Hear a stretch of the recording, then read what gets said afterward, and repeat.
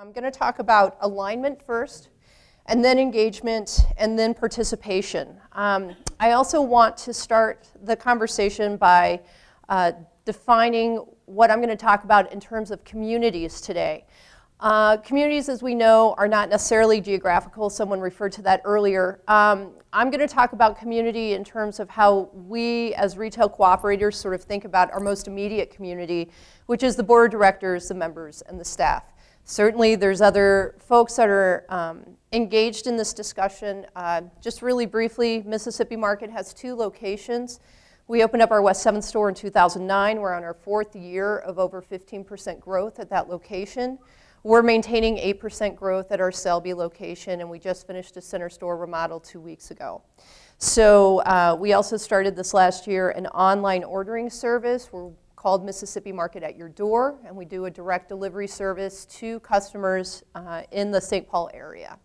And we just turned our first profit on that. I think it was like six bucks, but we turned a profit on it.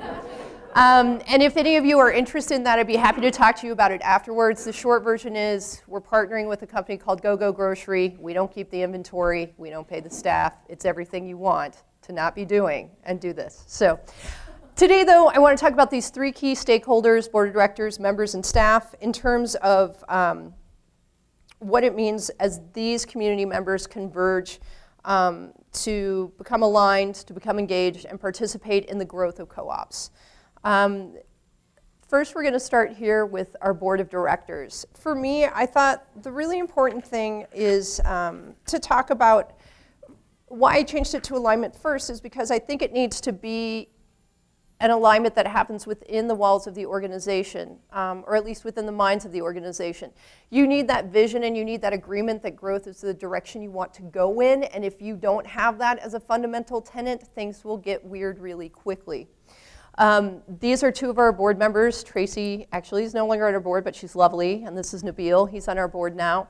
Um, and these two board members are at our annual meeting having a conversation about why they're on the board, what excites them about it. And I think when you, as a general manager, or you as a staff member can work with your board to create that unified vision. You create a space where you now have a core of cheerleaders that are going to help move that vision of growth forward.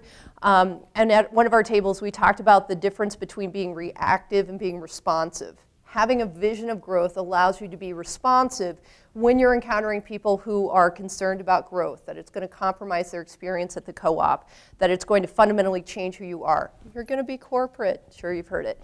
So um, having that ability to have a unified vision creates the ability to be responsive to those concerns without changing the direction you're going or without having to be defensive about the vision that you have. And I think those are really important things to keep in mind. Um, as part of this, um, our board does support a vision of growth. Um, not only do they do that at the board level, but they walk their talk. Every month, uh, the board holds monthly coffee hours at one of our stores, and so any member can come and have coffee with a board member to chat with them about what any of their concerns are. Um, we also sometimes have a local happy hour for those who like to imbibe.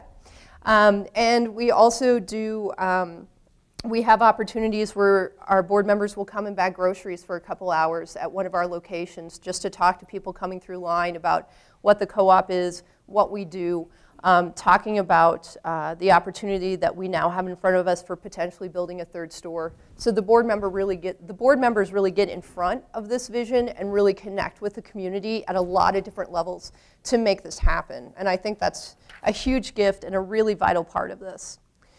Um, the next thing that I wanted to talk about was engaging members. So as I said, we have an opportunity in front of us where Mississippi Market might be looking at building a third location in East St. Paul.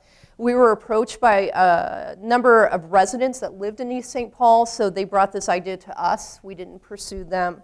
Um, and so we needed to talk to our existing membership, which is right at about 12,500 members active, about this opportunity. So what we did is we um, created um, a facilitated discussion with our members, partnering with uh, facilitators named Growth Work. They've done work with Seward and they've done work, I think they've done work with Amy and Eastside as well. So Growth Works hosted some facilitated discussions for our members and of course it's a co-op so we fed them.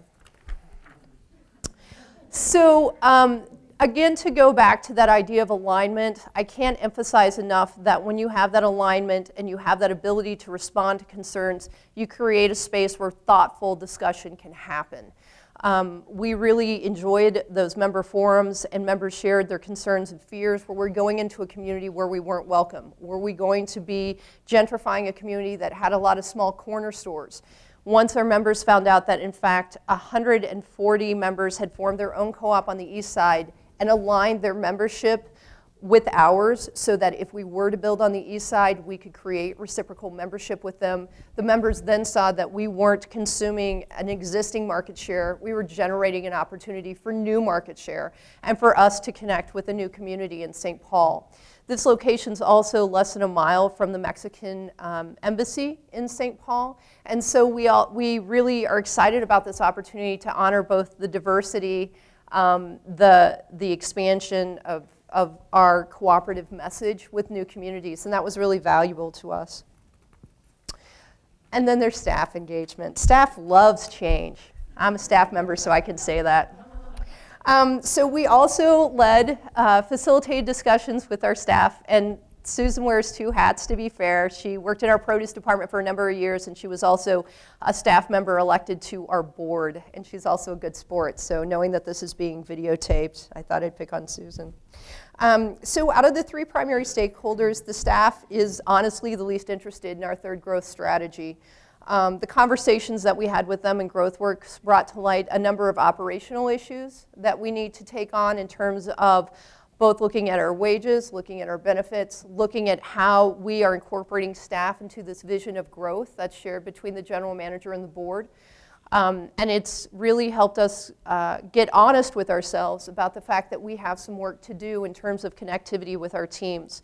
One of the challenges is that uh, Selby opened in 99, the West 7th store opened in 2009, so we had a 10-year window to connect and grow. Now we're at a four-year window where we might be growing again.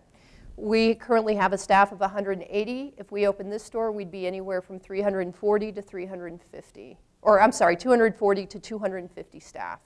Um, and it feels really vital at this point for us to figure out how to create connectivity between all the locations and all of our staff. And that's really the, the biggest work that we have ahead of us right now. So looking forward, um, once you're clear that growth is the direction you want to go in, you have to work with key stakeholders to pick a direction for that growth. Uh, to tie it back to the three things, the three themes we talked about earlier, um, alignment comes with thoughtful discussion about what the growth might look like, how it will impact the community, and what benefits can be realized through this vision. Uh, I think Pam's comment about what's in it for me is really powerful. Um, all of the stakeholders and all the community members do need to see a benefit for them in this growth because growth does cause stress and there needs to be some level of payoff for that. Um, and I, I, think, again, we just have so many opportunities, and the opportunities that we laid out this morning really speak to, to why that payoff is, what that payoff is, and why the stress is worth it.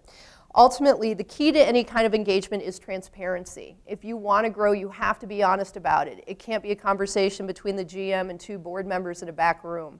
You have to get in front of your growth. You have to tout why growth is valuable. You have to have that alignment of vision with your board and with your team so that you're all moving in the same direction because it will take all of you to make growth successful. Um, once you get there, then the participation can be funneled in a number of areas.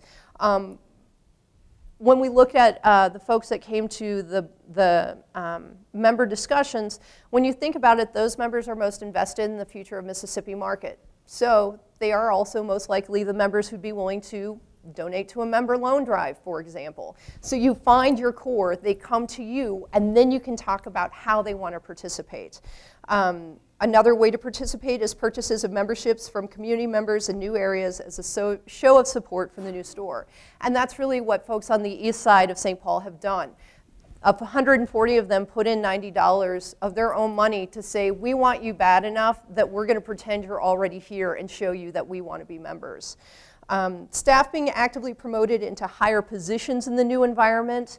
Um, as somebody at one of my tables this morning said, it isn't just about wages, it is about growth. If you can see cooperatives as a career for you, if you can see the value in making that choice long term, then you get a return on your investment both in terms of social return and also in terms of environmental return. And that's really valuable to staff. I don't know that I've done as good a job about selling that idea to staff as I need to. And so my opportunity when I go back home is really to think about that in my weekly meetings with staff and how I'm sharing my vision and my enthusiasm with them and finding out from them what makes them excited so I can respond to that in terms of our growth. Um, and then lastly, an expanded consumer base for our cooperative, your cooperatives, um, selling more local and organic products and keeping more money in the local economy where we all hope and know that it can do more good. So that's my presentation today. Thank you so much.